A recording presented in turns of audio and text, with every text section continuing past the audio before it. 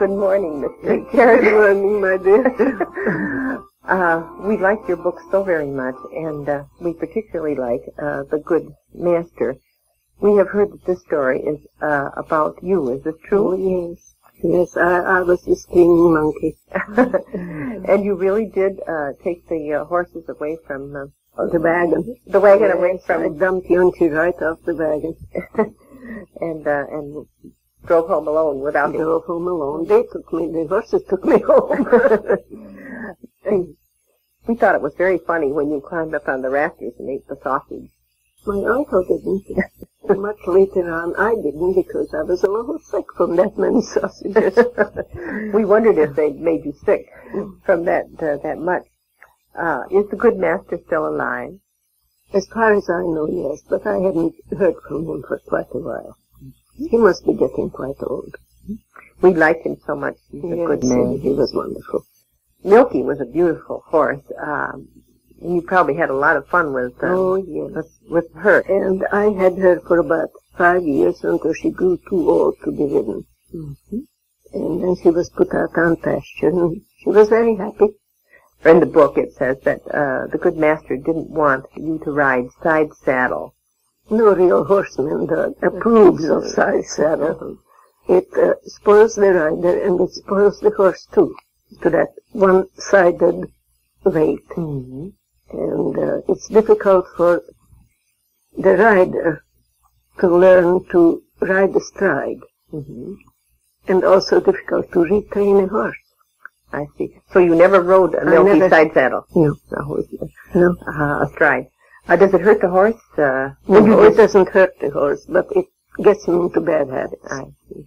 It would seem as if it was a dangerous way to ride. It is. Mm-hmm. It is. And my uncle was a wonderful rider. Mm-hmm. And he just couldn't see side saddle. um, it's good that you can write such good stories and draw such good pictures, too. Well, that's probably because I'm primarily an illustrator.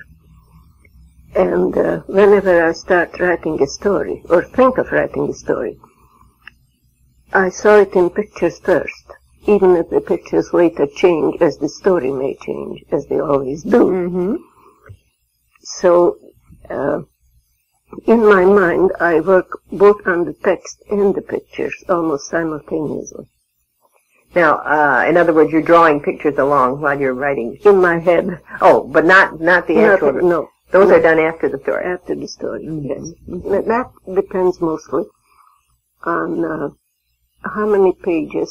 You see, the publisher has to determine Mm-hmm. how many pages of the printed book they can afford, Mm-hmm. and consequently how much space there is going to be for pictures.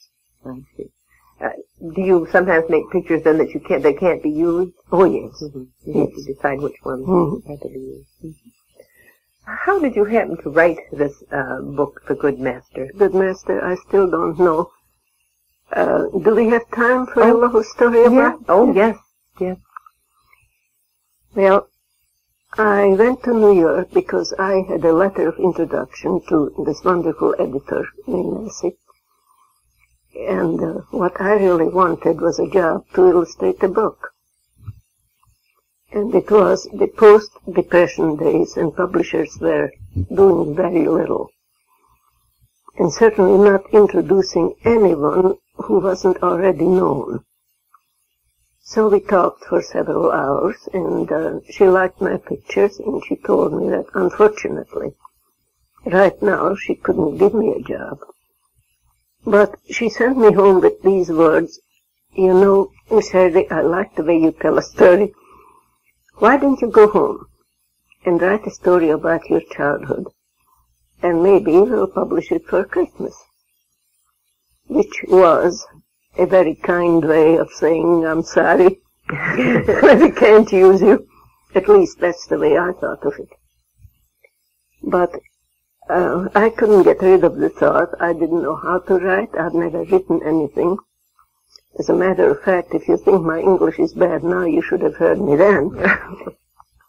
but I bought paper and pencils and sat down and started to write, and I wrote and wrote and wrote, and it grew to be about a six inch, seven inch, great big ringing of paper. The whole story written in longhand. And I thought, well, I don't know how good the story is, but it should be enough for mm-hmm. a book. So I sent it in, uh, mostly as a kind of practical joke on myself, expecting a rejection slip. Instead of that, in less than two weeks I had a contact. It was published for Christmas. And today, after 34 years, that one book alone outsells the 11 others I have done since. And I think it's because uh, it was my story, it was me, and the people I loved, and uh, well, it, it was part of my life, and all I had to do is put it on paper.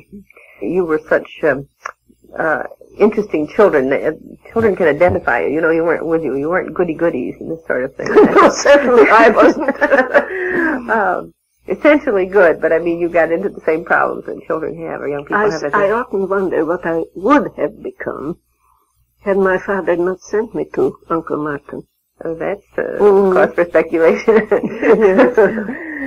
Probably a brat. And he was a good master with people as well as uh, oh, yes. animals. Mm-hmm. Uh, but the whole family was too, wasn't it? I mean, there's yes, many people yes, that they my helped. aunt too, mm-hmm. and the uh, shepherds, mm-hmm. Mm-hmm.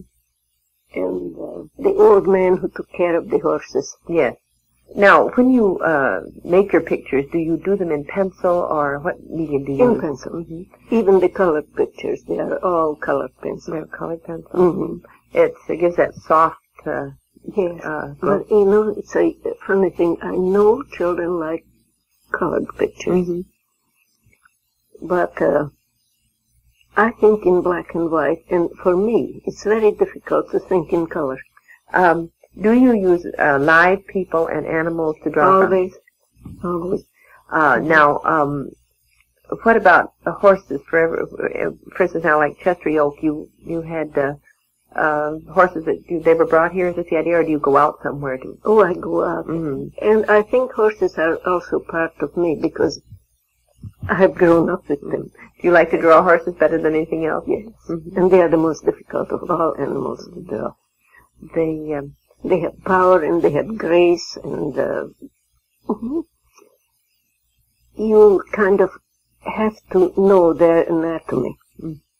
this shows uh, in uh, that big spread in the uh, white stag, those horses with the muscles and the, you know that they, they are galloping Yes, after the white stag, yes. Right.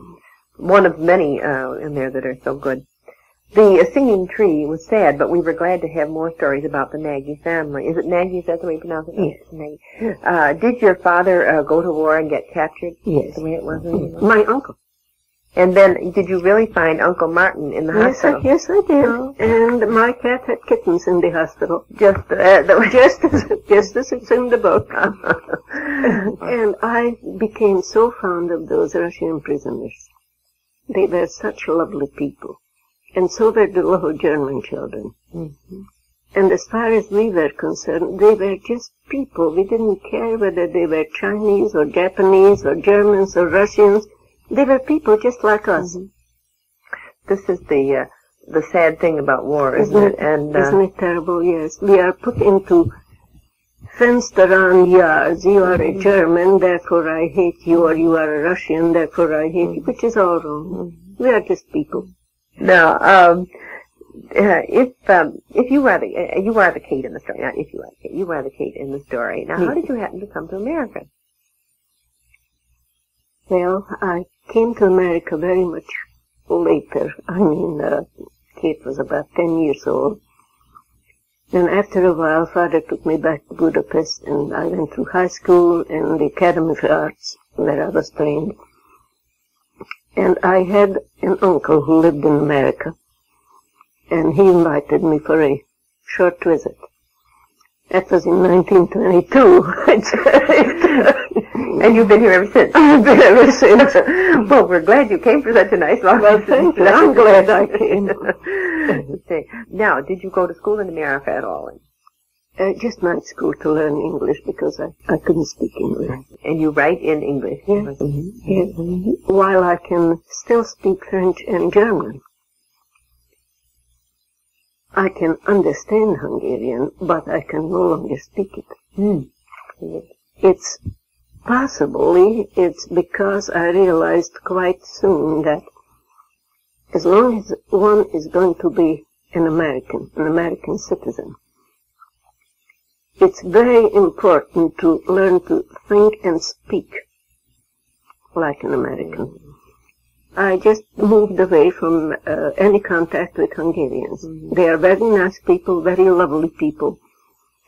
But right here, I didn't want to become part of another little Hungary. Mm-hmm. You became part of America. I hope so. now, is Jancsi uh, still living in uh, Hungary?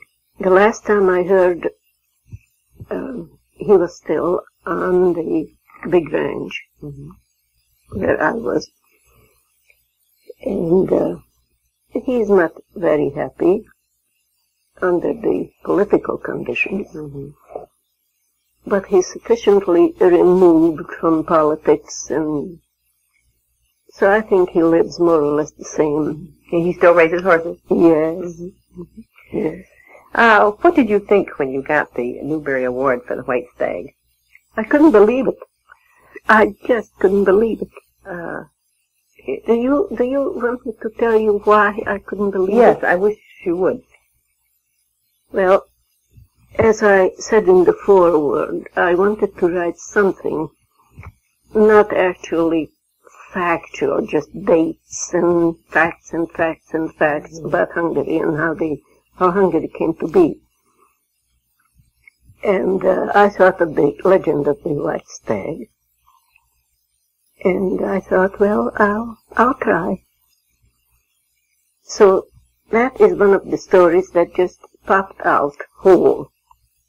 It took me just about two weeks to write it. And I didn't think very much of it. It came so easily, without any effort on my part. I, I didn't think it could be any good. I didn't even keep a carbon copy. I just sent the manuscript off to May Massee. And two days later, she was on the telephone, and she was almost crying. And uh, I'm even embarrassed even now. Katie, how did you do it? This is an epic poem. You don't speak this language as well. How did you write it? I, I don't know how I wrote it. So when they sent me the uh, text set up in print, that was the first time I had actually read the story after I'd sent off the original mm-hmm. manuscript. And then I just sat there, kind of glassy-eyed, and I said the same thing to myself.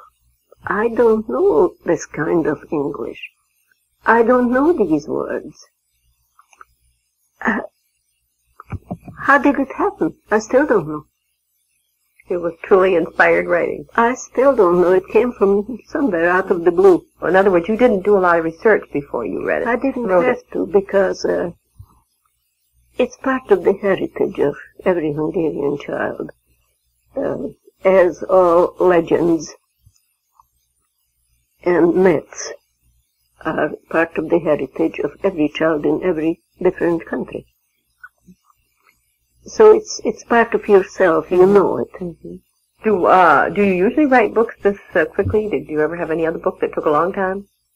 Yes, and amazingly, um, it is a picture book with just captions, no more than a few hundred words. It's a picture book about the life of a cat. And uh, those few hundred words, I worked three years on those few hundred words to reduce them, reduce the text into words that a cat can think. Uh, for instance, uh, when she gets lost on the highway.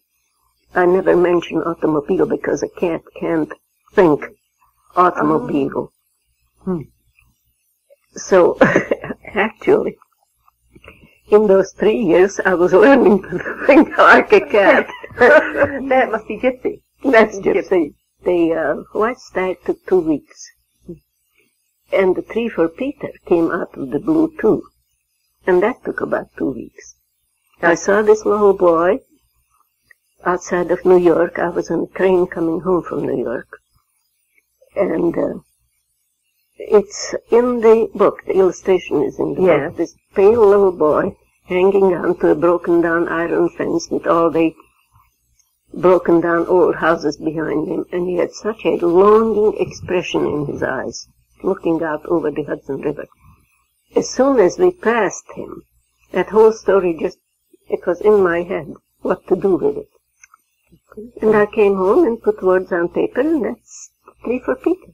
And I have often said this when people ask me, when are you going to write another story? Are you working on something now? And I have to say this, well, if a story walks through the door and sits in my lap and says, please write me, I'll write it, but I can't make up a story. It's impossible for me to mm-hmm. manufacture a story.